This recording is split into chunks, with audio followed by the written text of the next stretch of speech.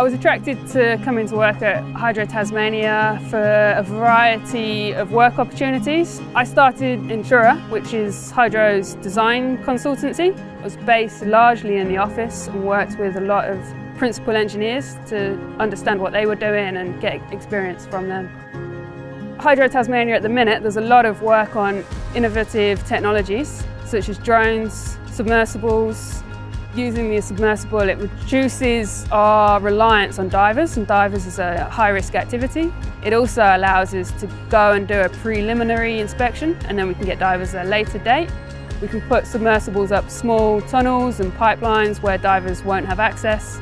So there's a whole heap of useful scenarios.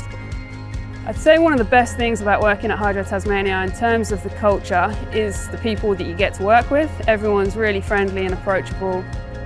Being on the graduate program, you get to rotate around the whole business and you get to pick different teams you want to work in.